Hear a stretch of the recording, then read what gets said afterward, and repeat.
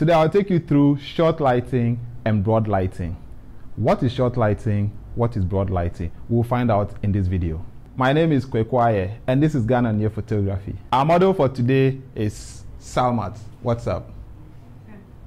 I'll include her Instagram handle here so you can check her out. Someone will ask, what is broad lighting? What is short lighting? In simple terms, broad lighting is when the light hits the side of your subject's face closer to the camera. And short lighting is when the light hits the side farther from the camera. Basically, that's the explanation for short lighting and broad lighting. But in this video, we'll look at practical examples. We'll be using two lights for this. One, which is the key light. Uh, our photo box 90 cm deep octa with the AD600BM in.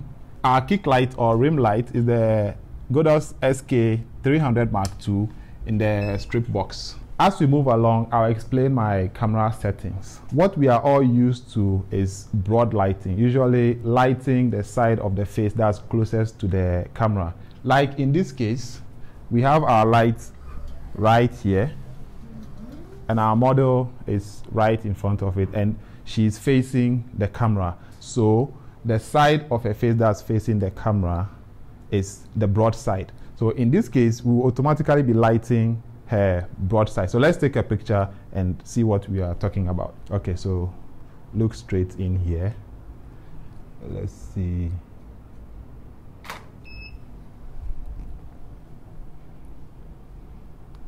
Okay, so with that, we have the greater part of her face lit.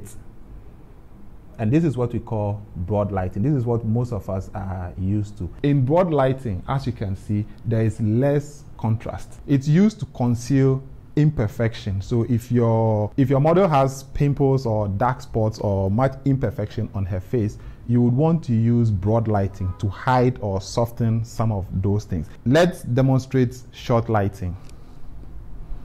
With short lighting, as we know, we have to move the light a bit to the side and then feather it away.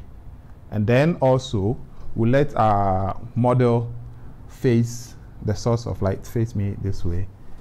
Yes, like that, good. So in doing so, we are going to light this side of her face, which is the side that is farther from the camera. Now this part becomes the broader part because this is the side that is closest to the camera. I hope I'm not confusing you yet. So, Salmat, face me like this. Good. And let's take a shot.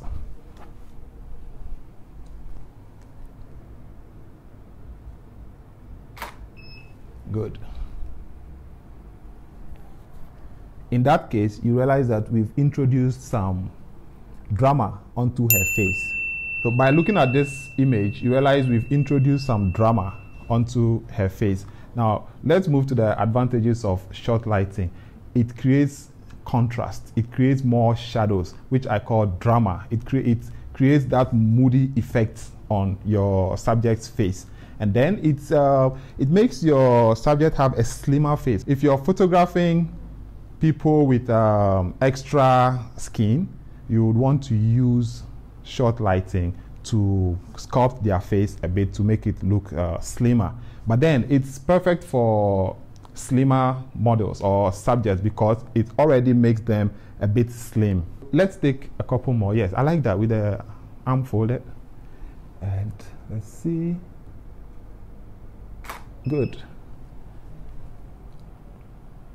Yes, so now face the light fully. Yes, like that. And let's see.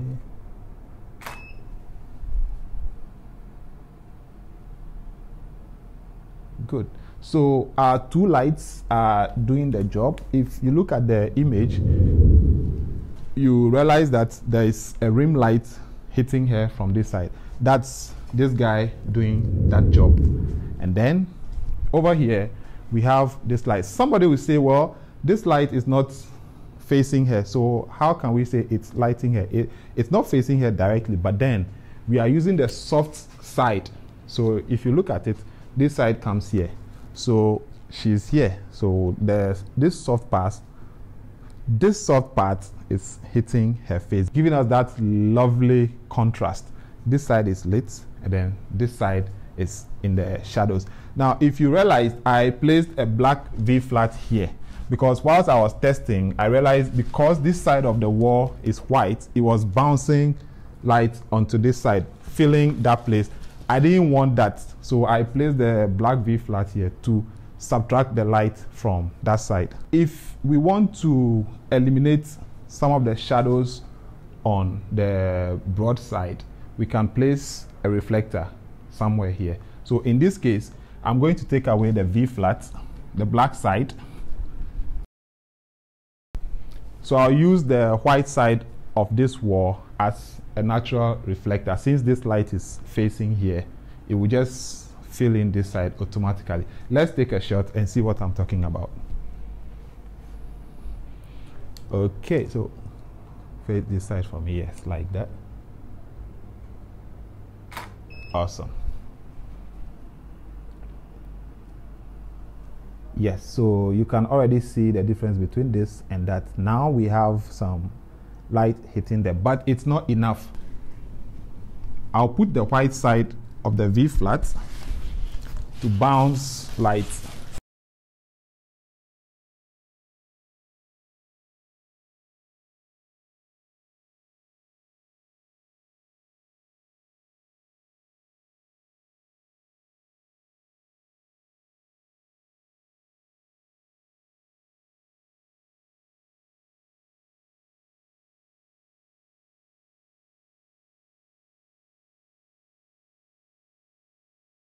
with our V flat here, we are sure the light bounces here and then fills in the dark side. Same thing, look somewhere here. Yes, like that, good.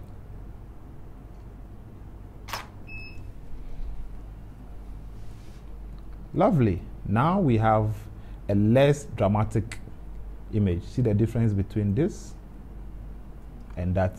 On the left is without the V flat, and on the right is with the V flat 2 Bounce some light onto her. So I would prefer the one on the left, which has more drama, which is moody, to this one. But hey, let me know in the comment section which one you would prefer. At this point, let me take you through the settings we are using.